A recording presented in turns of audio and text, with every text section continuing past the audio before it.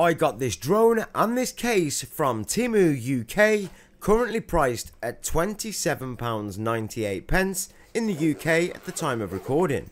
Now, normally I wouldn't entertain this kind of toy, but I was interested to know how a sub £30 drone performs.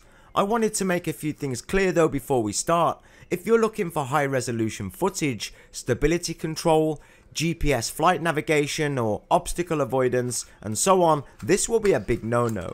This is more old school than Grandad's vinyl collection.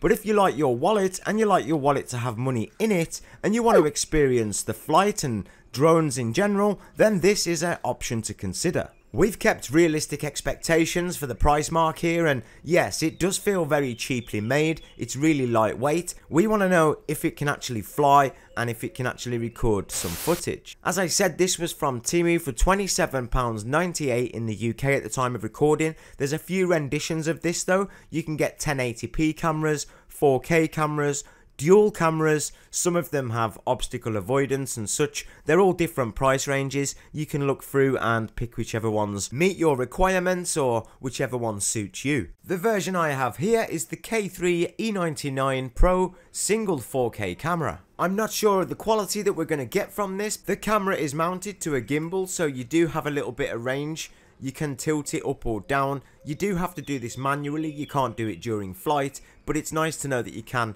adjust the camera angle. And yeah, the overall build quality I would describe as lightweight and plastic, maybe a little cheap feeling and more of a toy, but we're going to focus on the results.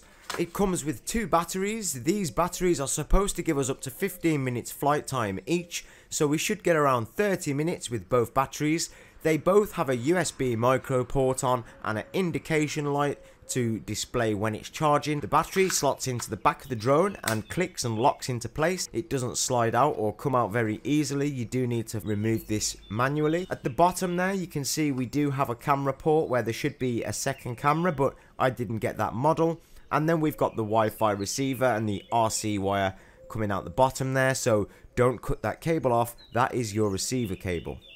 The controller actually feels a little bit better. It again is plastic and these aerials feel plasticky and cheap. We need to keep our expectations real. This is under £30 guys.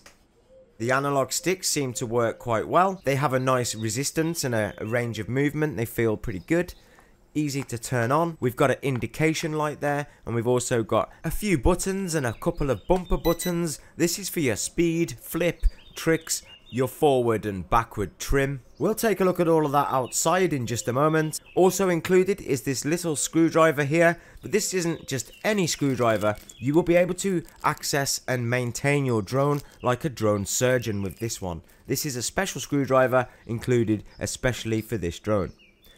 You also get four of these spare props in case you need any repairs from crash damage. You also get the micro USB lead, very small one to charge. We get a second screwdriver, I'm not sure why that's included, but then we get these four prop shafts. These are important, they do protect your props, so I recommend using these each flight. They go on nice and simple, you make sure they come over the leg of the drone they have two little plastic catches, then they clip in and lock onto this little notch here.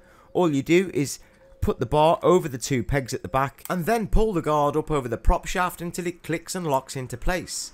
This will give you some added protection from fall damage. One thing to note here though is while these guards are in place, the drone does not fold away properly and will not fit in the case, so you do need to put these on and take them off with each flight. Now the drone has the prop guards and the battery included, it does have a little bit more weight to it, but it is still really lightweight. I'm concerned that the wind might take this for a better fly than we can, but let's go and install the application so we can record some video. Included in the box is a QR code. You can scan the QR code, but personally in the UK, I would recommend searching for the RC FPV Pro application. That way you will get the English version. Otherwise you might end up with Chinese writing all over the screen and you won't understand exactly what permissions to click and things like that. So I do recommend searching for it in the Google store. You will then be given the English version of the app. To connect to the drone, select your Wi-Fi, press the drone's power on, and then you will see it will pop up saying UFO drone. Go ahead and connect to that. That will then give you access to the camera, and then in the application, you've got a few options where you can take photo, take video, change some settings, etc. Hmm, that's definitely not a 4K image, guys. I would say that's maybe 720 at absolute best. Okay, let's go and take this outside then. I want to take this for a flight. We're going to just check that it pairs up easily. Backwards and forwards should be the connection method and it is. We're connected to the drone. We're going to start it up. Yeah, we'll cut that straight out. We're not going to fly it indoors. Indoor flight is a no-no. We're going to take it outside. A few moments later. We'll see if we can get it to do a flip.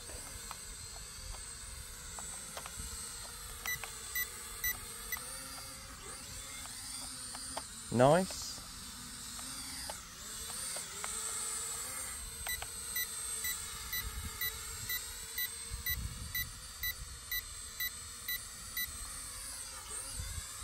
Nice. Yeah, the lights are flashing for the battery. Yeah, it doesn't want to fly anymore. So that battery's completely dead. Reload.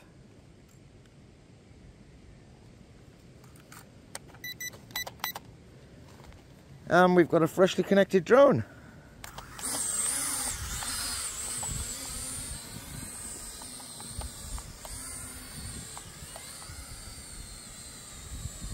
Really struggling in that wind.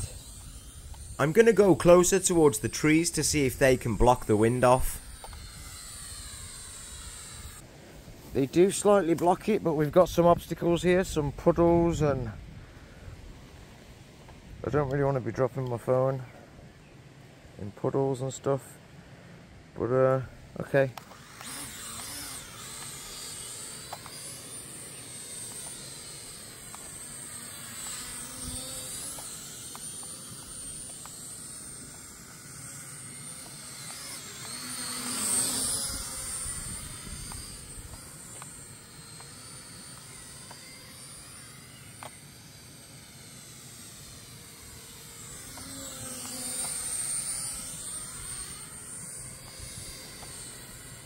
Look at it go, it's actually loads of fun.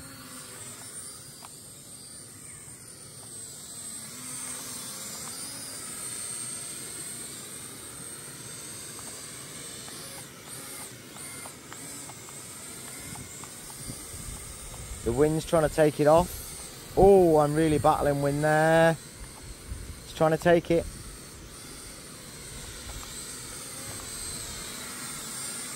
Okay, let's see if we can get him to do another flip. Awesome.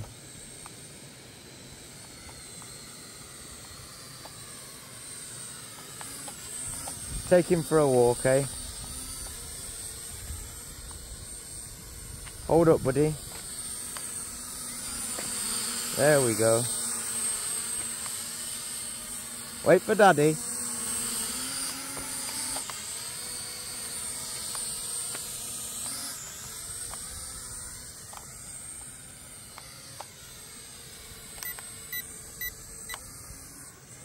And that's a backflip. Oh, now we crashed into the tree. I'm having serious problems getting the camera to record any footage. It keeps disconnecting. It will record while I'm holding the drone, but as soon as I put the drone in the air, it disconnects. Try and bring it down out that wind. Right, so this is what I'm trying to film. But yeah, it's, it's just not giving me any usable footage.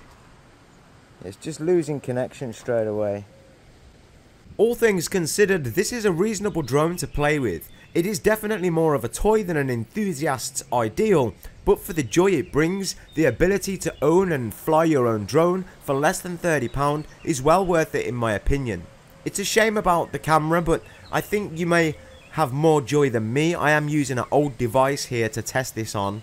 Also, you might be able to grab yourself some bargains with the Temu app. You get discount codes and you can even get up to a £100 voucher by signing up. There are other discounts available. You could also use my link. I'll leave it below so you can find this drone. Like I've said, this drone is definitely not a professional drone. But I am on the fourth flight. This is the fourth time that I've brought this out now. So we have had more than two hours flight time in total out of the drone. The batteries do give around 15 minutes each. So I was surprised to see that we did get approximately 30 minutes flight time each time. And we've also had around 12 or 15 crashes and the drone is still fully intact. I mean, if it's falling from 10-20 meters from the sky onto concrete, you may have an issue. If you take it out onto a field, it'll be absolutely fine, I'm sure.